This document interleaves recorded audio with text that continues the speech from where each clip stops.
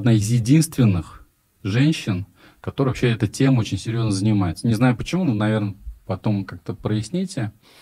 А, ну, прежде чем поговорить о вашей профессиональной деятельности, я хотел спросить, чем вы сейчас, чем вы сейчас живете, как вы себя чувствуете, и а, кроме вот той роли вот такой, которая у вас есть, ученого, да, вот вы как человек себя сейчас как, э, в какой роли себя ощущаете?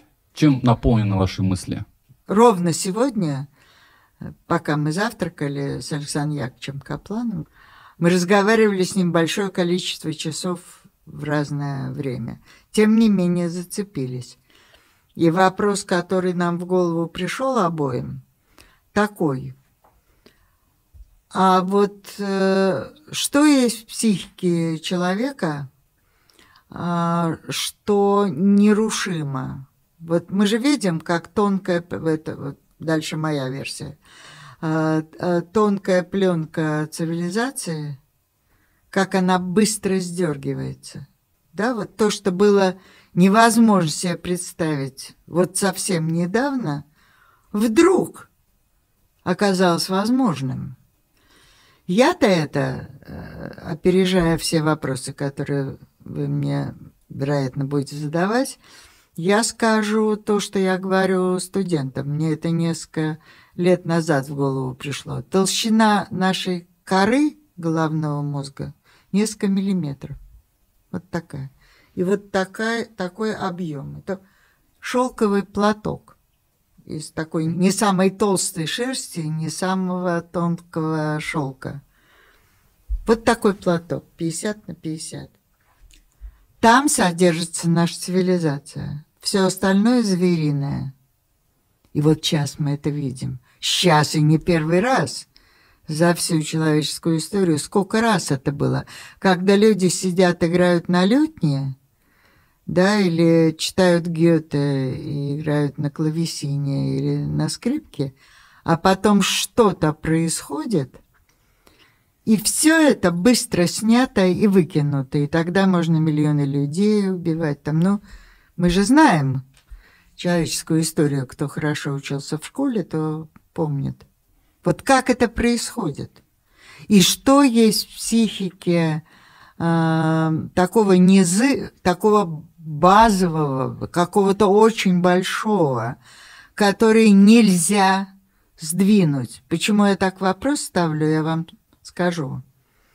Потому что если бы этого вот какой-то такой устойчивой основы не было, эволюция за миллионы лет уже смела бы это все.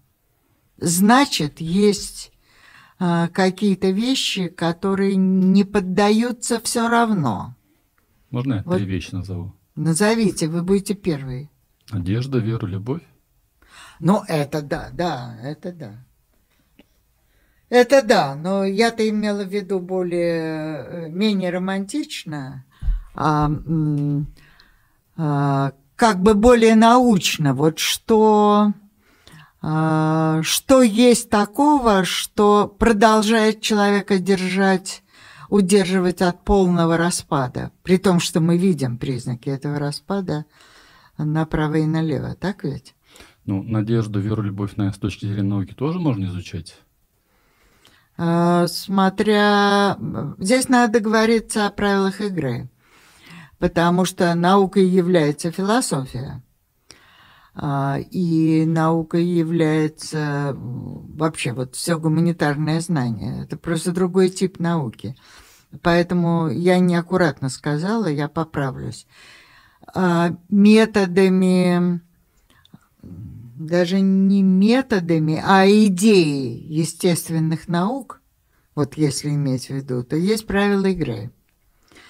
И правила игры заключаются в доказательствах, не философского сорта, карты на бочку, факты. А, доказательства, проверяемость, повторяемость, то есть статистическая достоверность.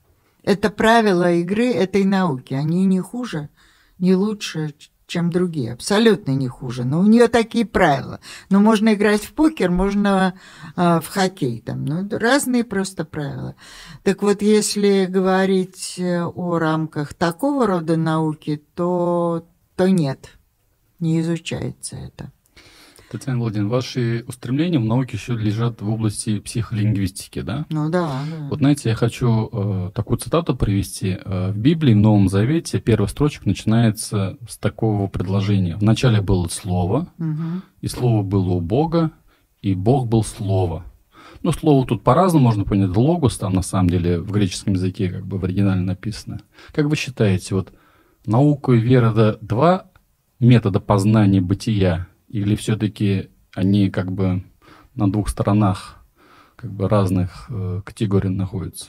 Понятно, что это такая тема, э, опасная тема, потому что все ругаются на эту тему. Я сто раз получала вопросы, как это может быть, что вы ученый, серьезный ученый, но у меня больше 360 научных статей, и вообще за меня их никто не писал. Ну, то есть я реально действующий ученый, не разговаривающий об этом, а действующий. И вопрос, который я получаю, как это может быть, что вы с одной стороны ученый, а с другой стороны говорите, что вы э, православная, что вы верите в Бога и так далее. Отвечаю, да, я православная верю в Бога, и это не конкуренты. Наука и религия не конкуренты. Они не борются за то, кто из них лучше. Это два разных способа. Вот я сейчас вообще жестко скажу. А, наука, как я это воспринимаю, делает все, что она может для того, чтобы постараться узнать, как, как Господь создал этот мир. Вот я так вопрос ставлю. Мы делаем, что можем. В меру наших сил – усердия, таланта, технических и прочих возможностей. Я хочу узнать, как этот мир устроен. И я не борюсь с тем, кто его устроил, потому что я не, не умалишенная. Это не конкуренты, поэтому вот, вот вопрос, заданный так, как вот мне задают, не так, как вы задали, а так, как мне задают, это просто неправильный вопрос. Это все равно, что сказать, что лучше, э, я не знаю, хороший компьютер или балет. Ну, это неправильный вопрос задан. Они не конкурируют. Компьютер и балет не конкуренты друг другу. Это другое. Нам никто не обещал никогда, что мы должны э, в мире этих бинарных оппозиции болтаться. Либо это, или вы любите кофе или чай. Люблю кофе и чай. Что будем делать с этим? Это, кстати, отдельный и даже серьезный научный вопрос. Почему люди сделаны так, что они все время выбирают из двух? Либо красные, либо белые.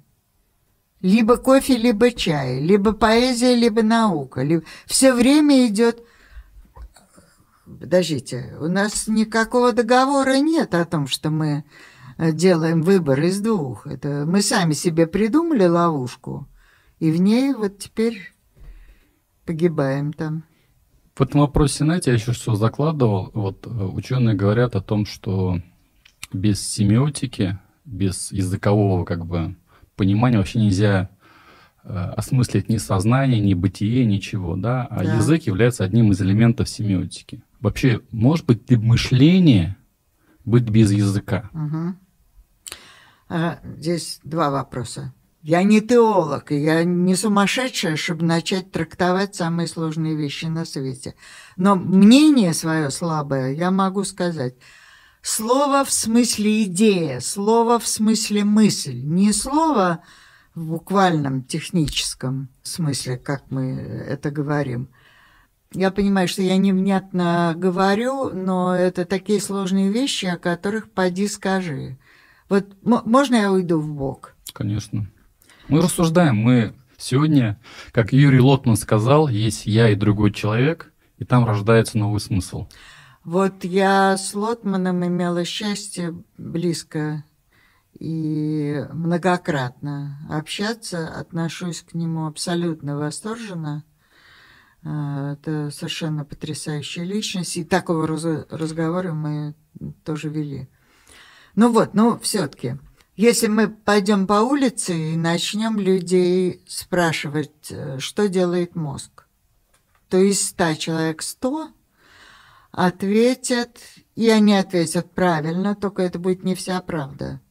Они ответят, что мозг получает информацию из внешнего и из внутреннего мира через окна и двери, которые наши сенсорные системы, уши, глаза, носы, вкус, кожа. Ну, в общем, все, что впускает рецепторы, все, что впускает информацию в мозг.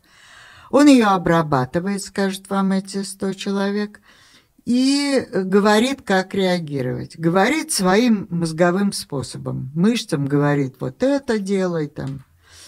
Сосудом говорит, сожмись. Ну, в общем, свое дело делает. Это все правда, конечно, и этому нас учили в школе, а потом в университете. Но это не вся правда. Мозг занимается тем, что он творит миры он не просто, он не реактивный, в смысле стимул-реакция, в этом смысле реактивный, а он активный. Он выдумывает миры, в которых мы потом и живем. Вот у меня, например, уверенности в том, что тот мир, в котором мы сейчас с вами находимся, что он на самом деле есть, а не у меня в голове. У меня эта мысль присутствует. И это я не с хулиганства говорю потому что я не смогу доказать другого. Когда вы мне скажете, да, но я здесь тоже сижу, или да, вот я сейчас там вас ущипну, я скажу минутку, это все у меня внутри мозга происходит. И ваше ущипну, и студии, и все. Но не будем в эту сторону уезжать, потому что... Попозже. Да, да, да, да. Вот, но я к тому говорю, что для нас миры, которые мы придумали сами, на которых базируется наша цивилизация, нисколько не менее, а может быть и более, важны, чем физический мир. Иначе откуда, скажем, религиозные войны? Они про что? Я понимаю, когда землю отнимают или Елену прекрасную надо утащить к себе. Это, это понятно. А вот когда за идею крестоносцы там, да ну, все в школе учились, много примеров. Это что? Поэтому а, мозг, он не только общается с миром а, в смысле устройства, которое пытается и успешно а, понять, как в этом мире жить и что делать, но это еще устройство, которое мир создает. И вопрос, который сейчас э, есть, на который нет ответа, но сам вопрос стал появляться зато. Это свойство ли это только людей? Или, скажем, у животных это тоже есть? Мы же не знаем, что у них в голове. Можем сколько угодно датчиками и электродами дырявить их там, но это нам ответ дает на другие вопросы. Мы не знаем, как думает кот, который сидит, и вот у меня был кот. Он так смотрел, что, знаете, глаза отводишь. У него же в это, это был умный взгляд. Умный. Что у него в голове в это время? Что он думал, например? Вот нет способа про это узнать. Поэтому вопрос, только ли мы творим миры, или и другие творят миры, но просто их не фиксируют на внешних носителях, как мы, которые научились писать, изобрели внешнюю память, так сказать, рисовать, а, какие-нибудь завязывать штучки или скульптурки делать. Мы же что придумали? Мы придумали, как сделать так, чтобы опыт, накопленный за жизнь не ушел вместе с тем, кто его накопил. Ну, вывести этот опыт из материального субстрата, который в голове. Потому что жалко родственников. Татьяна Владимировна, а вот как вы считаете, э, вот если можем мы об чем-то помыслить вообще, пофантазировать, если в нашем языке нет такого слова, нет такого знака? В лингвистике существует такая гипотеза, вокруг которой десятки лет уже идут страшные споры. Она называется гипотеза лингвистической относительности. Ее авторы два ученых, Сипир и Уорф. Она сводится упрощенно к следующему варианту. Люди, говорящие на разных языках, живут в разных мирах. То есть если ваша языковая система описывает три времени, то это одно. А если 23, то это другое. А поскольку языков у нас то ли 6, то ли 7 тысяч на планете, зависит от того, как считать. Ну, в смысле, что считать языком, что диалектом. Но это не важно, все равно их много. Они исчезают, но их все еще очень много. То, доведя до абсурда вот эту мысль, мы должны сказать, что все эти люди живут в разных мирах. Потому что если у вас есть синий и голубой, а в английском есть blue, то это другая история. Ну, я бы, конечно, отбила этот мяч, потому что я сказала, что там есть много разных blue. Типа navy blue, dark blue, там light и там еще там черта в ступе. Но все-таки язык и определяющую роль играет в том, как, каков мир в котором эти люди живут. Ваш вопрос первый был, я его, конечно, не забыла. Э, возможно ли мышление без языка? Да, возможно. Но самое главное мышление языковое, э, возможно, мышление образами, возможно, мышление музыкальное, где слова не внедряются, оно само там как-то ходит – возможно мышление э, э, математическое. Но э, если бы я уж совсем так уперлась, то я бы сказала, у человека есть много языков. И я имею в виду не национальные языки, которых то ли 6, то ли 7 тысяч, а на семечку я вытаскиваю символических систем, которыми люди пользуются. Это язык вербальный, это музыка, это математика, это body language, так сказать, это язык тела, жесты, мимика, это все языки. Более э, того, это языки конвенциональные, по договоренности. Это называется книжкой. Могли договориться, она называлась барбузом. То есть не она, а этот предмет. На значение имеется, да? Да. Я имею в виду, что мы же слова, мы договорились, что это будет называться микрофон. Могли договориться иначе. А на...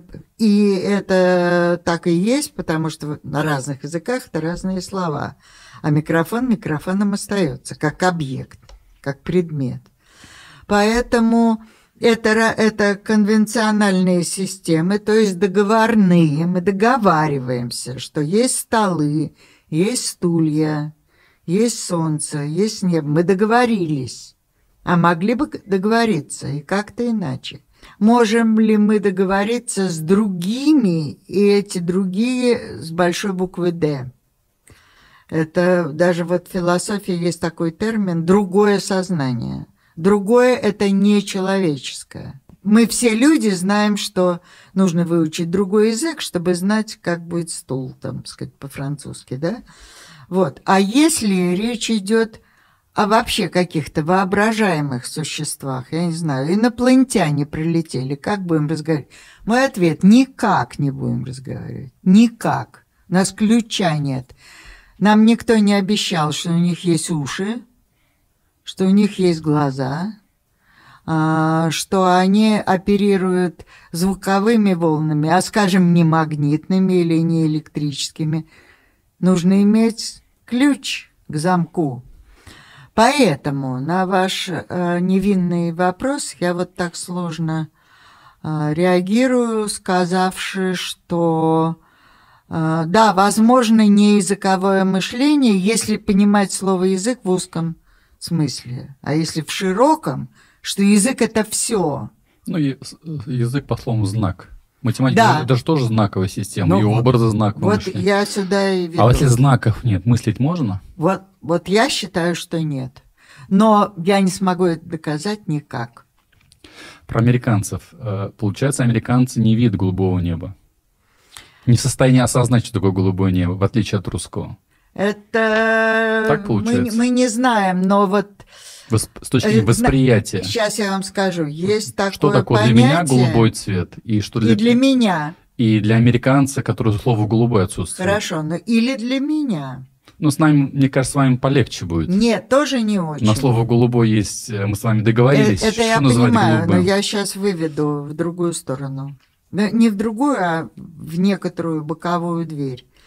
Есть такое понятие, и оно Э, в науках и в философии значится как квалия. Э, квалия – латинский термин, ощущение от первого лица. First person experience. Вот в любой научной статье такого сорта вы это увидите. Это то, что нельзя ни доказать, ни проверить. Это какой голубой для вас, лучше не, лучше не цвета брать. Вы скажете, это там кислое вино. А я скажу, а на мой взгляд, недостаточно кислое. Вот в нем бы лучше, чтобы сахара было немножко побольше. Вам кислое, а мне не кислое. Вам тепло, а мне не тепло. Вам вкусно, а мне не вкусно. Вам шероховато, а мне не шероховато. А если шероховато, то по-другому. По какому, не знаю. Вот это одна из очень сложных проблем и философии, и в нашей науке, когда мы говорим про мозг, сознание. Вот эта квалия, это центральная точка, об которую спотыкаются все. То есть ты не знаешь, что с этим делать. Ты, я не могу влезть в голову кота, вот какие бы у меня ни были приборы, эти приборы мне абсолютно не помогут. А, и узнать, э, о чем он думает, когда вот он так подло смотрит на меня. Что у него в голове? Я приборами узнаю, где какие связи, где активность, где пассивность, где зажглось, где потухло, куда эти линии пошли. Это все, пожалуйста. А трак, а интерпретация? А что это было? Из того, что у него здесь активность есть, у, у любого него, у кота, у человека, у кого хочешь. Здесь активность есть, а здесь нет. Что, что это значит? Я статей вам напишу сколько хочешь. Я публикую. А что это значит? То есть, что значит математическое мышление? Как это надо, кстати, вот вам звать математика, только сильного, не того, который 2 плюс 3, а серьезного мыслителя, с которым очень трудно говорить будет, потому что он говорить это не может. И спрашивать, что, как это у вас бывает, когда вы решаете э, математическую задачу в голове? Вот что там происходит? Я такие эксперименты провожу, друзей-то ловлю. Вот, они говорят, ой, ты знаешь, это там какие-то пятна иногда цветовые, они куда-то ездят, там э, сливаются, там разливаются, иногда какие-то пустоты образуются, понимаете? То есть мы их вынуждаем перевести процесс того, что невербализуемо, худо-бедно, хоть как-нибудь, э, в формочки и ящички языка. Мы, мы же их спрашиваем, он вынужден языком говорить. А как говорить-то, они то они лезут. Если вот так вот мысленный эксперимент провести, вот возвращаясь угу. к Вале или к трудной проблеме сознания, представьте, что э, родился человек, его поселили в комнату, в котором она всегда будет черно-белая. Ужас. Вот, вот он будет жить, из этой комнаты он не будет выходить, угу. он будет ученым, а, он будет изучать свойства цветов, волны, как они, какие, на каких частотах фотон излучают, но он будет всю свою окружающую обстановку только видеть в черно-белых тонах. Угу. И представим, что в один прекрасный день, когда ему исполнится 25 лет, он с этой комнаты Его выйдет. Выводят, да. И когда ему покажут красный цвет, угу, он красный угу. цвет состояния будет увидеть, или он увидит черно... или красный цвет увидит он черно-белым? Это хороший вопрос, кстати, не такой невинный, как он кажется, потому что пока вы говорили, я уже, я думала, и такого рода мысленные эксперименты... Состояние, вообще это, вот это квалию ощутить, или оно с рождения у нас, или как? Хороший вопрос. И я, если отвечать честно, то мой ответ будет «я не знаю». Хотя я очень много про это читала и думала. У нас точно есть, некоторые даже говорят, врожденные концепты. При этом под концептами имеются в виду самые-самые большие, крупные вещи такие, типа, что есть начало и конец у чего-то, что есть э, обрывы, что вот как бы вот там движешься, движешься, падаешь, что есть какие-то ходы, я не знаю, условно говоря, туннели, что можно можно вот из этой комнаты, комната в ста кавычках, да, выйти куда-то, что есть выходы, входы, есть замкнутые пространства, вот такого сорта ориентиры, похоже, что они врожденные. Врожденный концепт о том, что он в состоянии красный цвет вот, увидеть. Вот я не знаю. Я, мой ответ был бы такой, что, несомненно, большая доза чего-то врожденного есть. Как вы собираетесь это выяснить? А Вы младенцу живот... же не можете. А на животных нельзя эксперимент провести? А это не, разумеется, проводят. Но Э, перенос с животных на человека все-таки он это щекотливое дело. Дарвин говорил и писал, что люди отличаются от других своих соседей по планете количественно, а не качественно. То есть у всех есть память, у нас есть память, но лучше. А, все могут там перемещаться, а мы лучше. У всех есть внимание, мы лучше. У всех есть коммуникационные системы, у всех живых есть коммуникационные системы. Только у инфузории туфельки это химия. Но нет живых, которые не коммуницируют друг с другом. Мы тоже, но только у нас какого уровня эти системы несопоставимы. То есть дарвиновская точка зрения такая. Большинство, абсолютное большинство биологов, а это уж я проверяю, потому что я же имею дело с разными науками, они именно так и считают. Они говорят, а что вы расшумелись со своим языком там и все это? У всех это есть. Просто, ну, у нас более изящный. Это не абсолютная точка зрения, потому что есть вещи похожие, которых у других нет. Вот язык относится к этому числу. У нас точно есть, у нас есть гены, которые не тащат за собой знания конкретных языков, разумеется, вот это по наследству никак не передается. Но тот факт, что каждый здоровый ребенок Земли может э, овладеть любым языком Земли, любым, в, любым, в котором он оказался, это принципиально, что любым, э, в котором он волей судеб оказался. Вот все его, он, он японец, и тысячу лет там все японцы. Но судьба так распорядилась, что он родился, знаю, в Финляндии. Никаких японцев не видел, и, и финский будет его первым языком, главным. И нет ничего, чтобы ему помешало этот финский или русский, или любой другой, сделать первым. В чем же гены? Гены в том, чтобы мозг мог овладевать самым сложным из всего, о чем мы только можем подумать, а именно языковой системы. Ребенка никто не учит языку, он выучивается сам. Поэтому полагается говорить я не к тому, что я английский больше, чем русский люблю, но в данном случае это важно. Э, language acquisition, овладение языком. Ребенок не выучивает язык, а он им овладевает каким-то непонятным образом, потому что вокруг него все говорят, и как специалисты по устной речи, и я это тоже знаю, точно вам все скажут, каждый из нас делает очень много ошибок, независимо от эм, э, нашего образования. Это просто оказиональные ошибки. Здесь не тот падеж случайно вылез. Там, то есть их много. Ребенок живет среди потока речевой информации с большим количеством неправильных вещей.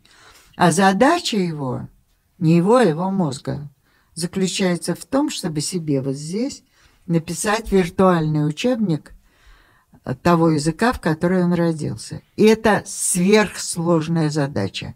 И мы, вся наша наука только тем и занята, а, что пытается разгадать, а как он там лежит, что это за учебник. Что там лежит? Это не то, что в книжках нам рассказывают. Это там лежат, что отдельно суффиксы, префиксы, отдельно фонемы, отдельно идиомы, отдельно стишки, целиком или по частям, или каждый раз это вычислительные процедуры запредельной степени сложности, потому что сразу несколько уровней фонетически точно попасть в данный звук, потому что если ты в другой звук чуть-чуть съехала артикуляция, то акцент, который сразу ловят. И я, заметим, ни звука не говорю про смысл. Я говорю только про структуры. То эти маленькие штучки, фонемы, значит, вкладываются в морфемы, морфемы в слова, слова в фразы, фрава, э, фразы в тексты. В широком смысле слова текст. Это как может быть? Еще есть интонации, Э, которые меняют смысл там и так далее. Это, это запредельно сложная вещь.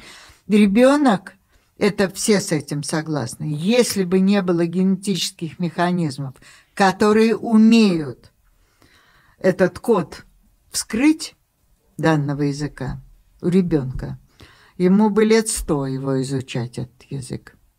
Без учебника и учителя. Вот в Татарстане большинство людей билингвалы. Угу. То есть русский, татарский одновременно усваивается. Очень хорошо. Вот если с точки зрения э, когнитивной науки посмотреть, у человека один родной язык или два родных языка? Э, очень от, правильно. От, отличие есть? У Очень... того японца, потом, который он японский выучит, потом лет да, 20 есть. будет, да? да? Он не станет его родным японский. Он не станет его родным. Почему? Если, а потому что есть такая вещь, вы очень хитрый интервьюер, не только министр. Почему? Потому что, да, потому что вы сами, возможно, даже не подозревая, вы задаете абсолютно кардинальные вопросы, вокруг которых э, наука там бьется, и споры очень большие идут. Мозг не знает ничего о том, что ребенок должен овладевать одним языком, а, как родным. Мозг про это ничего не знает. Это, это вообще не его дело. Куда попал, туда попал. И все расшифровываем, вы пишем этот учебник и в голову помещаем. Вокруг билингвизма существует много мифов. А, но главный миф заключается в следующем, что норма – это монолингвизм, один язык. А все билингвальное – это как бы хитрости. Ну или такие, ну, исключения. Вот это ровно наоборот. Большинство людей, живущих на планете, а, говорят больше, чем на одном языке. Как раз монолингвальных а, популяций мало. Даже если взять Китай, да, как бы китайцы говорят по-китайски. Сколько этих китайских там? Их же там их десятки. И таких, что они друг друга не понимают. Поэтому то, что они все для посторонних, так сказать, объединяются словом китайский язык, это ничего не значит. Масса разных языков. И э, сколько стран, где, ну я не знаю, голландца любого возьмите, уж на четырех языках он как минимум говорит любой, независимо от образования. Такая страна. Или там Швейцария. Та такие страны. Советский Союз был такой страной. Каждая республика Конечно, все знали русский как государственный язык, в школы там, ну все это понятно. И свой же никуда не девался. Поэтому нормой является не монолингвизм. Как раз монолингвальных сообществ не так много в мире. Может быть, Америка. А про мифы говорите, это о том, что э, часто пропагандировал Стейт, что билингвизм дает преимущество, да? Есть и противоположный тезис. Вот когда Советский Союз распался, то мне из разных прибалтик писали как бы научные запросы. Даже я какую-то экспертизу писала на закон о языке латышский. Ну, я там ни в чем себе не отказала. Нар... Ненормативной лексики в письменном тексте не использовала, но была готова. Просто возьмем, зачеркнем. Язык не так прост, ты его не можешь зачеркнуть. А, их аргументы, кроме того, были такие, что э, как бы ребенку лучше выучить сначала один язык, а потом подбираться ко второму. Вас не спросили, это называется. Мозг знает, что ему делать. И другой вопрос, что э, у мозга есть такое свойство, как пластичность. Это термин, э, один из главных, когда обсуждают э, функции мозга, пластичность – один из главных игроков. Пластичность – это способность менять связи в мозгу в зависимости от того, с чем столкнулся, и тем более, что выучил. Так вот, пластичность у маленьких детей э, очень высока. Она с годами э, становится все хуже и хуже и хуже. И еще несколько лет назад говорили, что э, в сильно пожилом или даже не в очень сильно пожилом э, возрасте пластичности нет. Сейчас доказано, что это не так, но зависит от того, как человек живет. Если он лежит э, на диване в ментальном смысле, и физи... если в физическом он только лежит на диване, то он уже не сможет с него встать. Же он забудет, как ходит. Мышцы атрофируются. В мозгу абсолютно то же самое. Если этот человек читает, смотрит, ходит, говорит, там, я не знаю, в меру своих способностей. Аж как там старушка, которая сидит, решает глупый кроссворд, здоровье пусть решает. Потому что это крутит мозг ей, понимаете, если она его не будет решать, а будет только студень есть, то вот у нее студень будет в голове. Поэтому это, это важная вещь. Поэтому, возвращаясь к билингвизму, я чего говорю? Очень важно, в каком возрасте что произошло. Вот чем раньше человек сталкивается с языками, но не мучением от родителей, когда учительница ходит, как сейчас тщеславные мамаши, двухлетнему ребенку, а теперь пускай будет латынь. Таблетки маме, а не латынь. Поэтому, если это естественным образом, я не знаю, мама китаянка, папа русский, бабушка француз, француженка, а дедушка, я не знаю, голландец. И ходит в английскую школу. Да, и ходит в английскую школу. Ну вот до школы, мы сейчас берем того, mm-hmm. который до школы. Это естественная для него среда. Для него эти четыре языка будут так, как для нас один русский. То есть он не запутается. Он не запутается. Мозг он, по своим ячейкам разложится. Мозг знает, что ему делать. Вот не надо ему советовать только.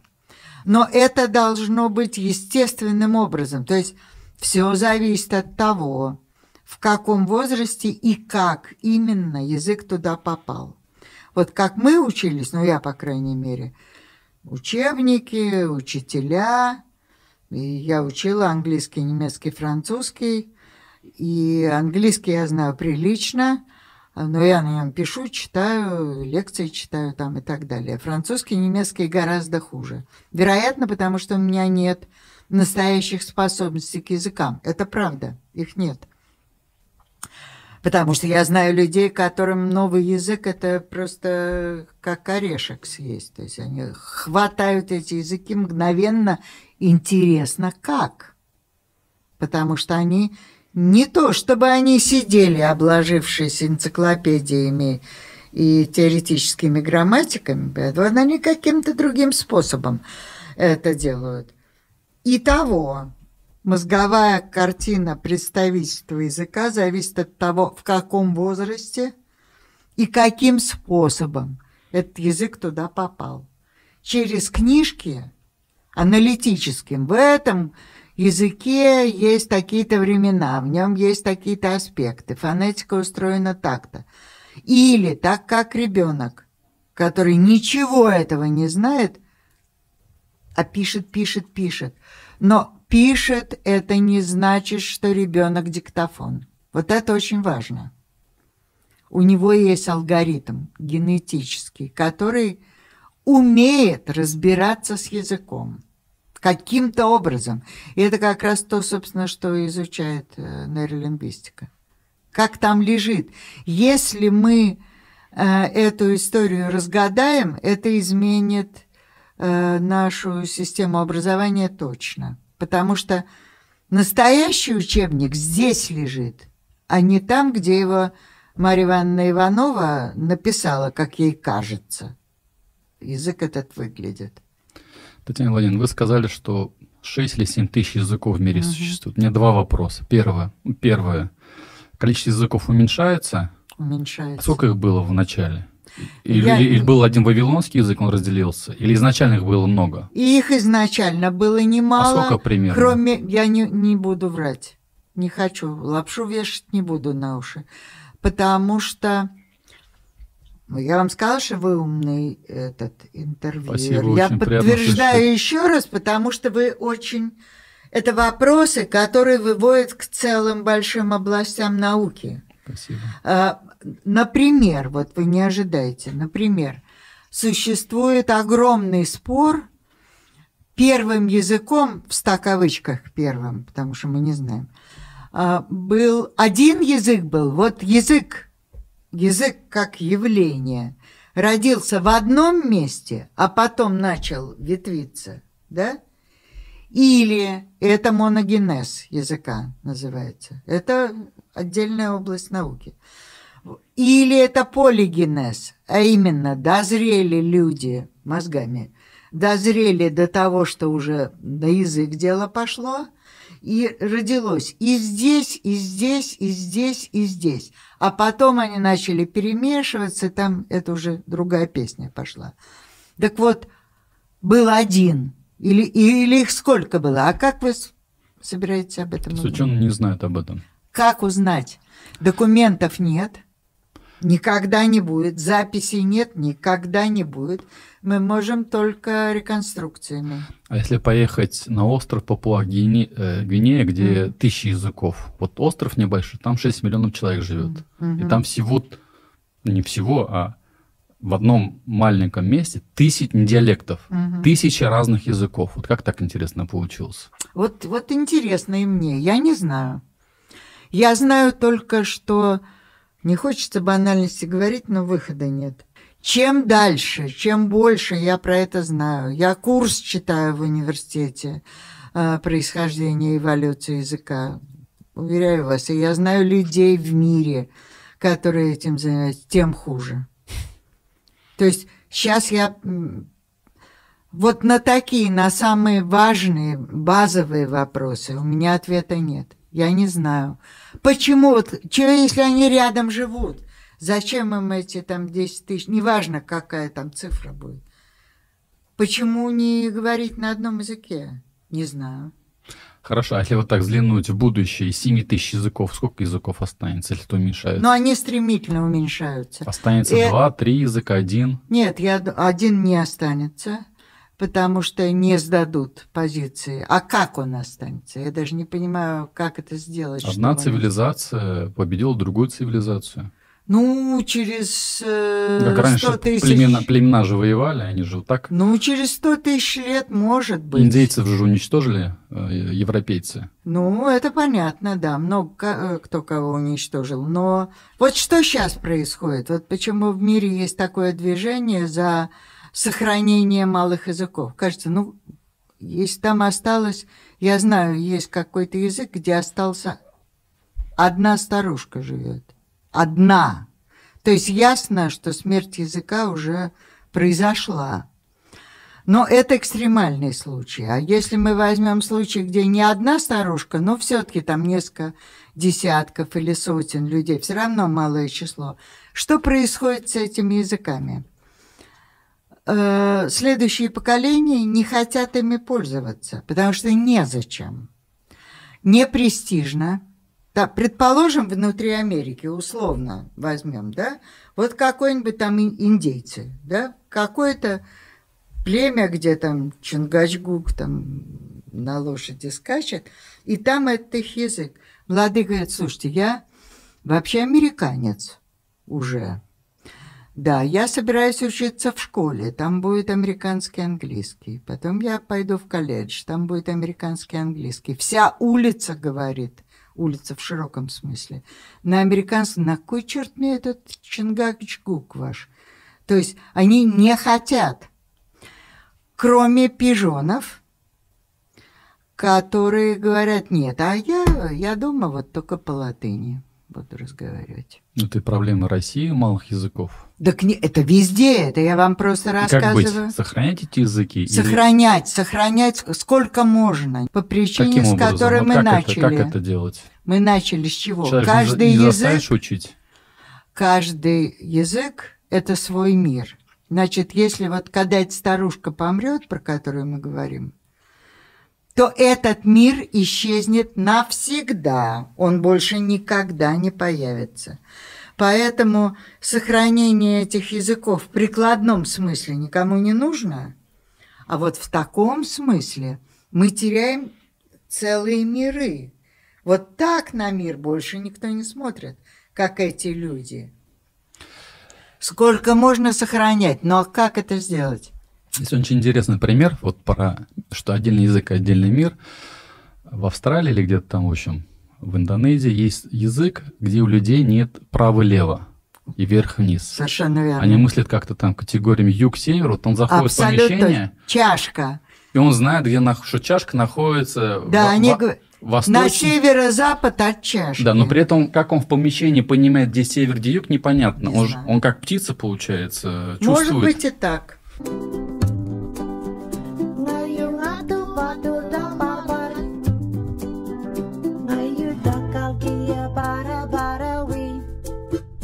А ученые исследуют таких людей? Или такие вот, Ну, вот такие- малые народности? Да, исследуют. Антропологии две.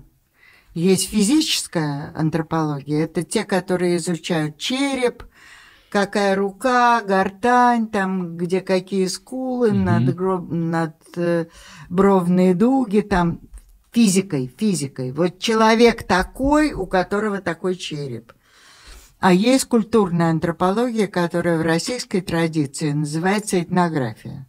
И они занимаются обычаями, там, кто как ездит, во что одет, там, Никола как ходит. Маклайн, например, изучал. Вот это оно. Это не, да? Вот это оно. Поэтому, да, этим занимаются. Этим занимаются лингвисты самоотверженно, потому что они ездят, они не просто диктофон включил, записал, они же расшифровывают. А что это с бабушками там? А что это значит? Их могут съесть еще эти племена. Ну, и так далее. Там же каннибализм Ну, это зави... присутствует. Хорошо, у нас на северо-западе России, слава тебе Господи, никто никого не ест. А там замечательно. Мне рассказывала моя одна старая приятельница, много лет назад была. Они ездили со студентами в фольклорную экспедицию в какую-то там деревню очень далекую. И эти же экспедиции, они тематические. Одни изучают именно язык как язык, структуры, как там время изображается, цвета, там, ну, с языком.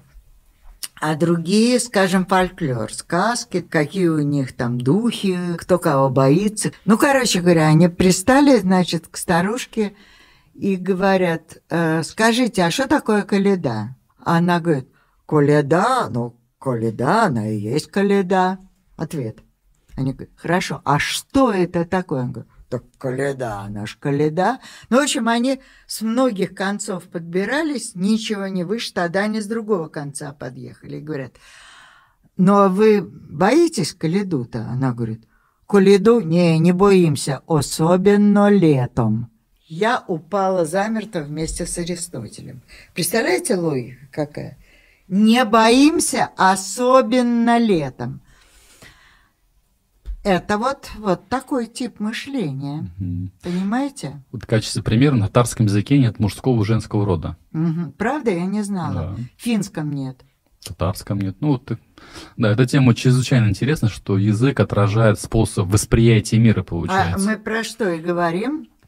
А вот еще хочется поговорить про такую область познания, как биосемиотика. Да, я даже вхожу в общество. Вот э, стали появляться публикации, что деревья или растения могут между собой общаться, что у них есть тоже знаковая система. Это так или не так, как вы считаете? Значит, э, в Тарту, где Юрий Михайлович Лотман э, профессорствовал, и где вся эта семиотика и крутилась, и куда я постоянно ездила, там уже Лотмана нет, но кафедра семиотики есть, и ею руководит такой Полное интервью смотрите в нашем телеграм-канале. Ссылка на него под видео в описании, либо же в закрепленном комментарии.